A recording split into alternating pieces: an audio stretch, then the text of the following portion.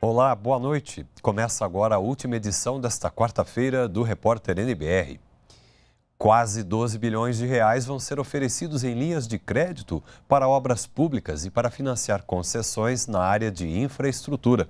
O objetivo é melhorar os serviços públicos prestados aos brasileiros investimentos nas áreas de mobilidade urbana, saneamento básico, iluminação, saúde e, no final, municípios totalmente revitalizados.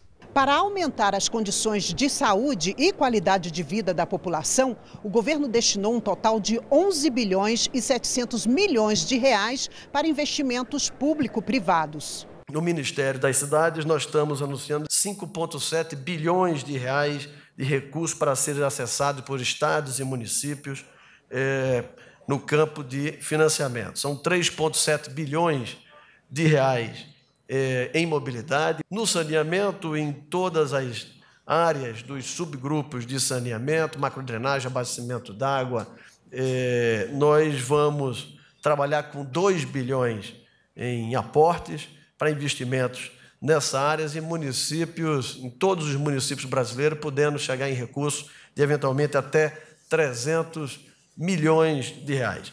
Municípios com até 20 mil habitantes, por exemplo, vão poder encaminhar propostas com valor mínimo de 500 mil reais e máximo de 5 milhões. Já para os acima de 100 mil até 250 mil habitantes, o financiamento mínimo será de 1 milhão de reais, podendo chegar a 30 milhões. Essa iniciativa se coaduna enormemente com a nossa estratégia geral da política econômica, porque ela não amplia uh, os gastos do governo federal, não aumenta uh, riscos fiscais, mas, por outro lado, privilegia e, e incentiva o investimento público e a melhoria da infraestrutura, que são necessários para a retomada do crescimento do país. Já o ministro da Fazenda, Henrique Meirelles, que também esteve presente à solenidade, disse que o governo tomou uma série de iniciativas que reduzem a burocracia e proporcionam o crescimento econômico adotando iniciativas que aumentem a eficiência e a produtividade,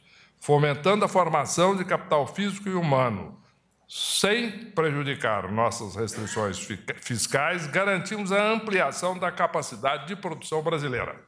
Isso significa mais crescimento econômico, mais oferta de bens e serviços e, em última análise, mais bem-estar para a população. O presidente Michel Temer afirmou que as medidas que estabelecem parcerias, além de trazerem o desenvolvimento regional, fortalecem as prefeituras. A autonomia municipal é uma coisa tão sólida, tão forte, tão substanciosa, tão significativa e tão importante para o país, que tudo o que fizermos para prestigiar os municípios, nós estamos atendendo a um fator histórico e a um fator jurídico que hoje está uh, presente na Constituição uh, brasileira. Né? Portanto, uh, nós, ao fazermos isto, ao estabelecermos a parceria com o setor privado, Zé Carlos, não é?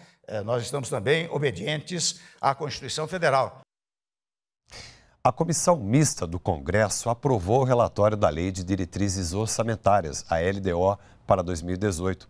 A LDO define as metas e prioridades do governo para o ano seguinte, orienta a elaboração da lei orçamentária anual e fixa limites para os orçamentos dos poderes legislativo e judiciário e do Ministério Público plenário da Câmara. Pela primeira vez, a Lei de Diretrizes Orçamentárias vai seguir o novo regime fiscal, também conhecido como Teto dos Gastos Públicos. A LDO orienta a elaboração do orçamento para o próximo ano. E no ano que vem, os gastos previstos vão ter um limite. Isso significa que eles só podem aumentar 3% em relação às despesas de 2017, cerca de 39 bilhões de reais. Esta foi a variação da inflação dos últimos 12 meses, encerrados em junho.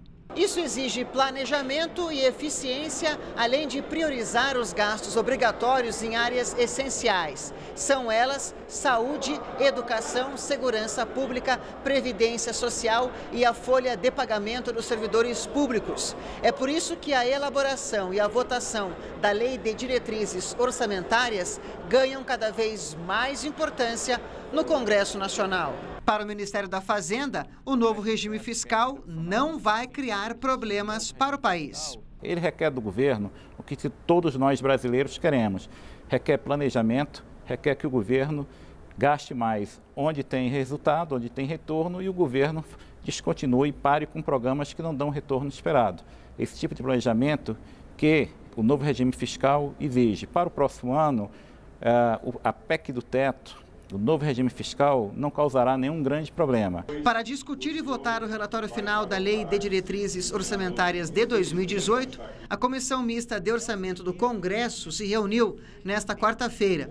Para o ano que vem, a LDO projeta um salário mínimo de 979 reais, uma inflação de 4,5%, uma taxa de juros de 9% ao ano e um crescimento de 2,5% para a economia, além de um saldo negativo nas contas públicas de 129 bilhões de reais para o governo federal, a chamada meta fiscal. Para o relator da LDO de 2018, toda a sociedade deve mudar o comportamento em relação aos gastos públicos.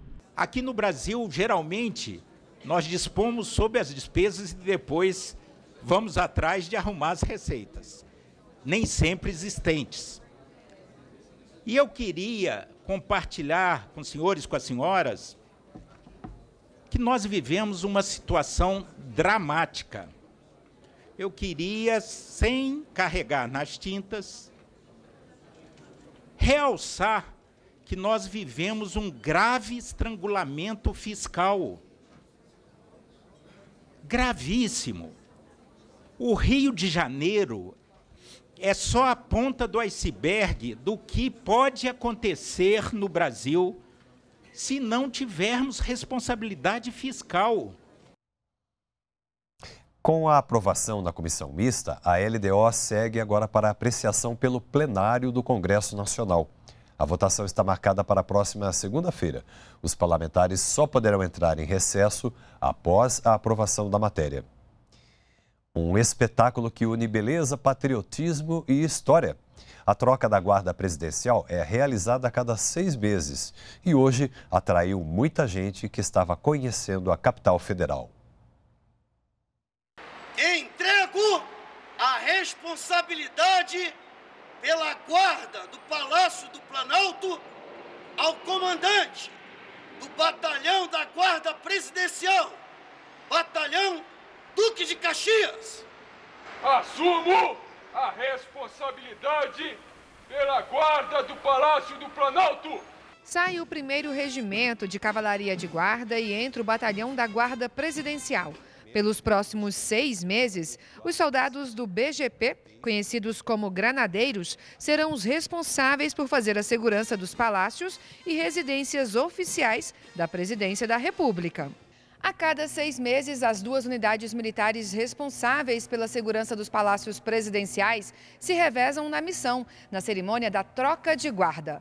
O batalhão da Guarda Presidencial, que já está aqui a postos cuidando da segurança do Palácio do Planalto, foi criado há 194 anos pelo então imperador do Brasil, Dom Pedro I.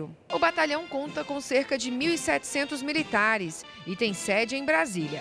Eles usam o mesmo uniforme desde a criação do grupamento. Entre as personalidades históricas que fizeram parte do BGP está Duque de Caxias, patrono do Exército. É uma reverência à nossa história e é uma reverência às instituições brasileiras que têm que ser fortes e fortalecidas. Isso é um pedaço da história do Brasil. Nós trocamos aqui o regimento que acompanhava Dom Pedro o Regimento Dragões da Independência, no momento da independência, o chamado Grito de Ipiranga, por aquele batalhão que, no qual o próprio Duque de Caxias foi o porta-bandeira e que nós chamamos do Batalhão do Imperador. A cerimônia de troca de guardas chama a atenção de quem passa pela Praça dos Três Poderes. Tobias gostou de ver as armas. Porque eles têm uma ponta viada e eu gosto muito de coisas assim. Orides veio com a família de Guarapuava, no Paraná, para conhecer Brasília e gostou do que viu. A gente entende a, a importância, uma importância mais histórica, mas é muito bonito, é um espetáculo bonito que eu aconselho todo mundo a assistir. Maria Isabel gostou do som. É que chamou mais atenção? Acho que foi o ritmo da música, da batida deles, os tambores, sabe? Que eles ficavam, tambores. Você já tinha visto alguma coisa parecida? Não, nunca.